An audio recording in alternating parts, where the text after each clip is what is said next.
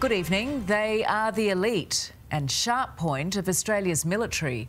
But tonight, a member of the SAS is in custody, refused bail, and charged with war crimes over the death of a civilian in Afghanistan.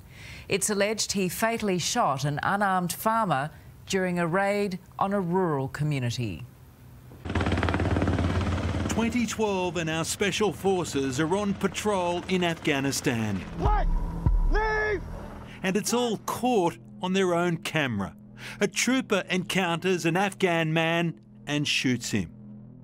What followed was a two year war crime investigation, today resulting in former trooper 41 year old Oliver Schulz being arrested in Cooma and charged with the war crime of murder. Another member of the Special Forces has been quick to jump to his defence. I would just call for calm to allow this guy and his family the presumption of innocence and due process through our judicial system.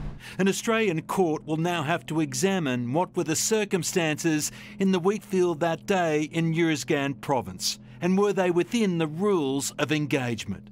This is the first war crime charge to be brought against one of our soldiers fighting in Afghanistan. A special investigative team, the OSI, was established to examine more than 20 incidents of potential wrongdoing between 2005 and 2016. And those inquiries are continuing. As for Oliver Schulz, he was awarded a medal for gallantry for serving his country. Now he's facing life imprisonment if convicted of a war crime on the battlefield.